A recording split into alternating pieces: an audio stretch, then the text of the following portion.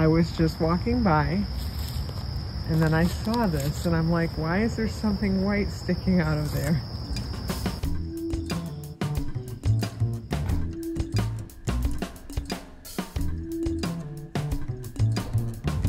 There's a mushroom, full mushroom, toppled over somehow. Rover was just here. Oh, there she is. She got sick of waiting for me. Sorry, Robes. We were both just trembling. I couldn't believe it. Neither could she. It's Shy Great Bent-tail. I don't know how long it's been since I've seen her. That's her bent tail right there. And she's still shy. There's chipmunks alerting everywhere, but um, she came up to me. I can't believe it.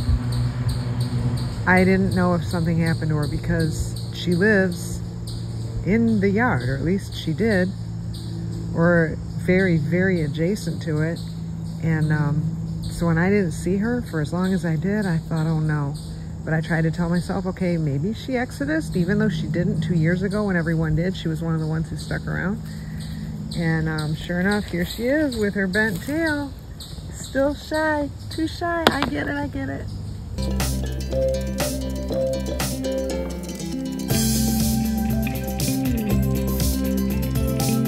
Miracles. I'm biking down the trail and I thought this was a good picture. I'm coming up on what some people might think were um, apples, but they're not, of course. They are nuts.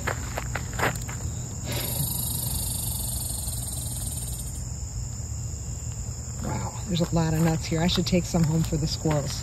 Doing it. So I got to wondering why so many nuts in one place. Look at this.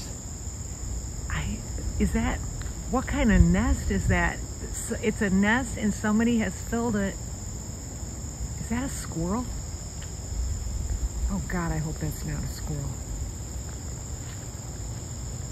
No, right? It's not a squirrel. It's just, and there's tons of nuts in that sucker. God, that looks scarily like an animal, but it just can't be.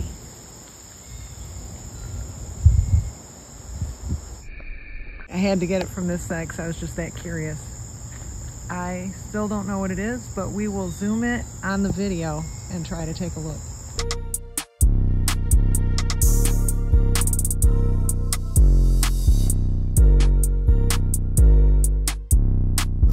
Or she. We both ended up here. There's a truck on the street. Don't be afraid of me. I'm just videoing. Hey, you're all right. Little Fluffy. Should I call you Fluffy? Bye-bye, Fluffy. I just saw Two-Pack out the window, so I wanted to bring her one of these awesome nuts I got yesterday. It's the next morning. Bright and early, which is when Two-Pack likes to get up, apparently. Hey, Two-Pack. Two-Packy, I knew this was you out here. You ready for a really good nut? Here's Miss Two-Pack. Here's this two pack. You ready for a really good nut? You're gonna like it. You're gonna like it. Look at that. Well, at least I think. okay, maybe you don't like it so much. You want a better one? You want something you can carry in your mouth? Or do you want to try that again? Is that just too weird? All right, there you go. I thought you'd like that.